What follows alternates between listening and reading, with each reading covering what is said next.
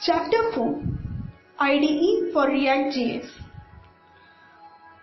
What is an IDE? IDE means Integrated Development Environment. It is a software suite that consolidates the basic tools developers need to write and test software. An IDE normally consists of a source code editor, build automation tools, and a debugger.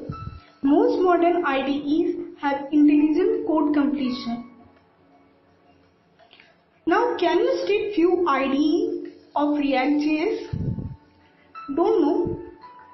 Then it's fine. I will give you few examples like Atom, Visual Studio Code, WebStorm. There are many more. These are only the few. For my React application, I am using Visual Studio Code.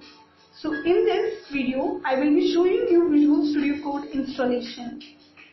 In the video description, I have given the download link for Visual Studio Code. I am installing it in Windows 8. Once the installation is complete, you can open the project directory which we have created in chapter 3 React.js installation video. And then you can check by npm start once again. Finally, you have installed Visual Studio Code IDE for React.js. Happy coding! Thank you for watching.